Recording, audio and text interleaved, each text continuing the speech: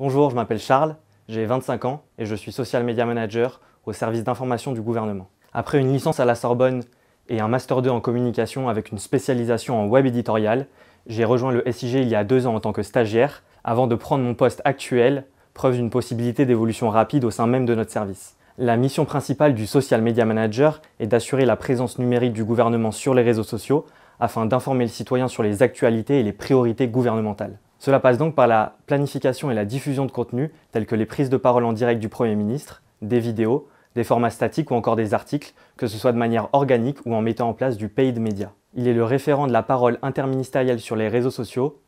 en échangeant quotidiennement avec les plateformes mais surtout avec l'ensemble des acteurs de l'État afin d'amplifier leur communication et de la rendre homogène. Le département rédaction, dans lequel je travaille, est composé d'une quinzaine de personnes au parcours et au profil très différents formant un groupe soudé et dynamique, animé par un seul objectif, informer au mieux les Français. De par la réactivité qu'elle nécessite et l'adrénaline qu'elle provoque, les périodes de crise sont sans aucun doute les plus marquantes, à commencer par celle du Covid-19 qui nous a fortement mobilisés. Avec l'évolution constante des plateformes et des codes qui y sont associés, les prochains recrutements au sein de notre département pourraient s'orienter vers des créateurs de contenu innovants à la pointe des dernières tendances.